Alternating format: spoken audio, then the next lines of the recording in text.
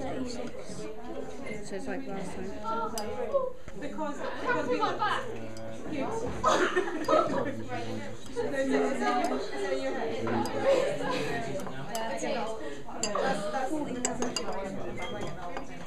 With this, is this supposed to melt quickly? Dark again? Not as fast as white, hopefully. Yeah, dark. Dark should go quite slowly.